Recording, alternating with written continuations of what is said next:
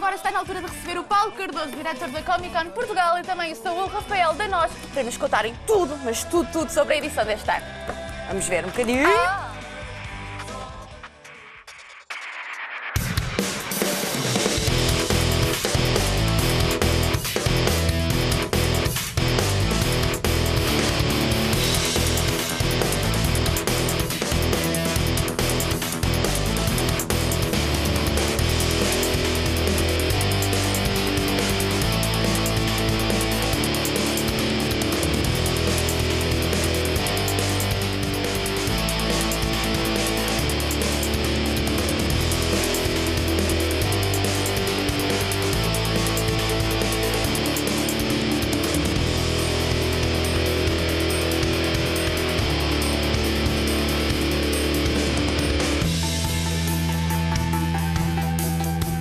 Fixe até. Ah, É, já estávamos aqui a fechar. Já estavas aqui para os seus trabalhos, não é? Já cá temos connosco o Paulo e o Saúl. Olá, boa tarde. Muito Bem-vindos. boa Boa tarde. bem-vindos. E com muita coisa para falar, não é? Está aí a nova edição da Comic Con e com muita novidade.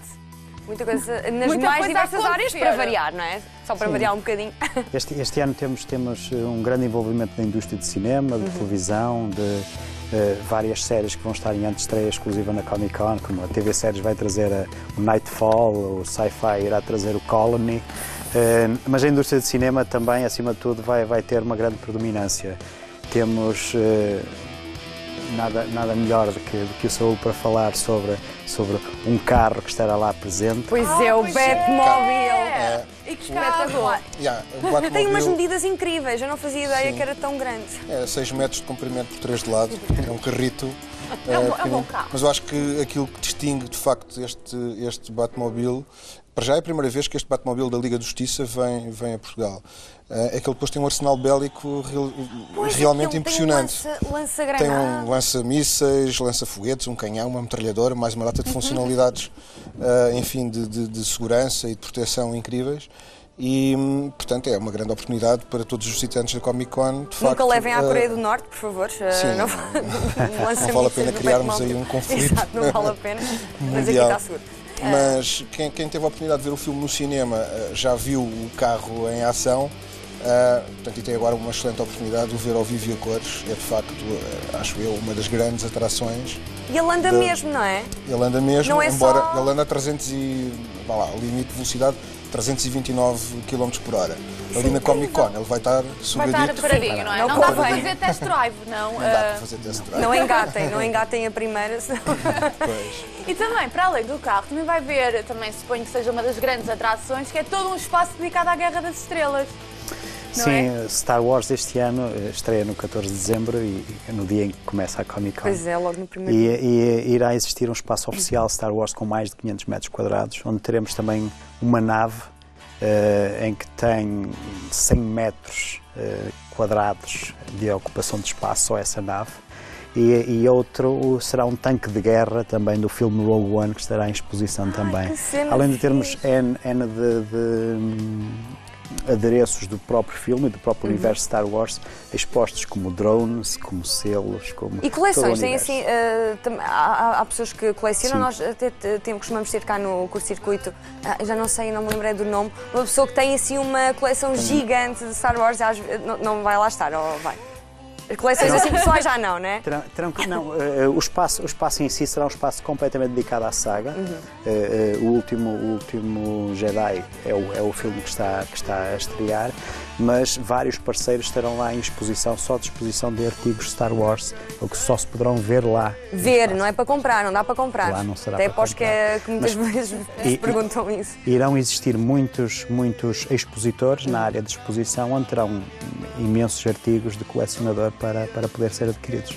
E vão também ter vários convidados especiais. Uh, podemos começar no mundo do cinema, não é? Que têm várias beldades uh, no sexo masculino e feminino que vêm cá uh, e talentosos, não é? A beldade também é por dentro. Uh, por exemplo, temos a, uh, eu não sei, eu acho que vou dizer bem, Medici- Madison. Madison. Ok, Madison, Madison Iceman. Iceman. Do Sim, Jumanji. Do Jumanji. Que até vai também ter antes de estreia. Sim, no, no dia anterior, na sexta-feira, teremos antes de exclusiva na Comic Con, onde todos os visitantes poderão ver o filme uma semana, uma semana antes de- de- das salas de cinema. E Que é no- meio de terror, não é? Já.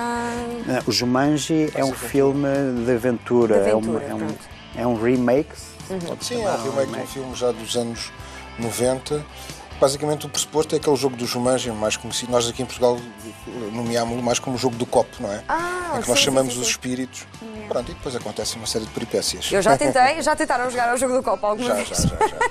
Quem é que não Funcionou? que não, acho Quem é que não tentou? Ah, não vale a pena. Mas, aquilo basicamente as pessoas empurram o copo, não é? É, claro. Exato. Sim. Mas é muito engraçado. E eu lembro quando era. Lembro de ter crescido com essa mística, não é? Ah, e o jogo do copo, a chamar espíritos, mas eh, é um bocado mentira, não é? Mas eh, estou muito curiosa com o filme, já ouvi falar muito bem dele. Eh, e deve ser muito interessante ter tantas personalidades cá. É- é- deve ser muito gira esta parte do convite e depois eles aceitarem e virem cá. Como é que Sim, é- funciona?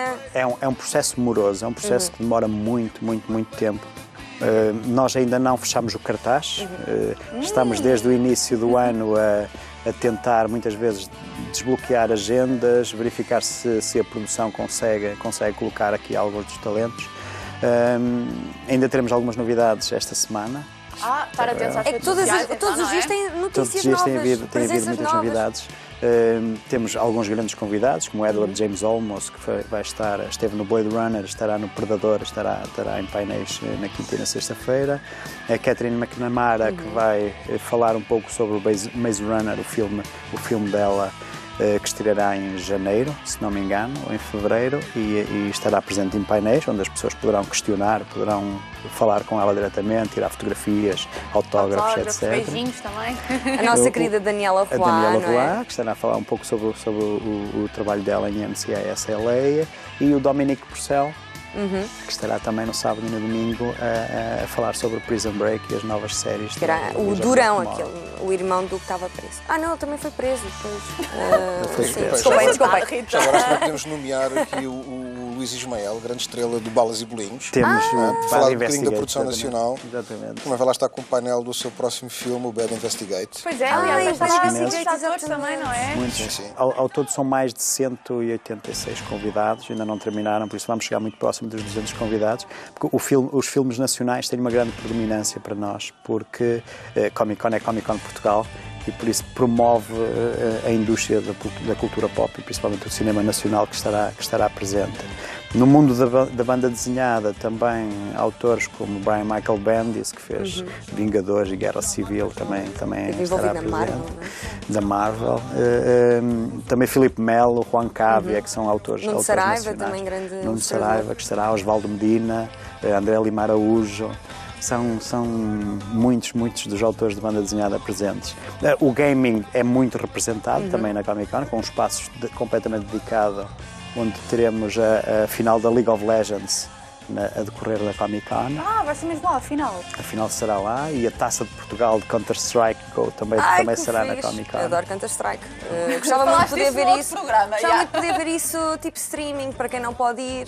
Mas tem que ir. Ah, tem que, pois tem de ser. Até tem- porque tem de ser, tem. é de 14 a 17 de dezembro, não é? Na. Hispanor, em Matozinhos. Ainda há bilhetes, não é? Ainda...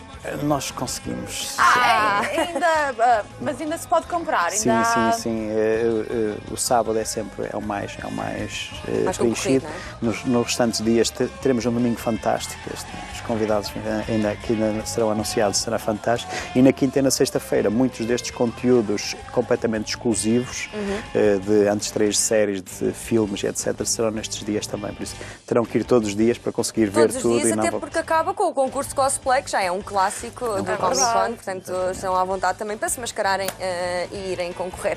Muito obrigado por terem vindo. Muito obrigada obrigada. e talvez nos vemos lá. E que tenham uma bela edição, de certeza que vai ser. E para o ano queremos mais.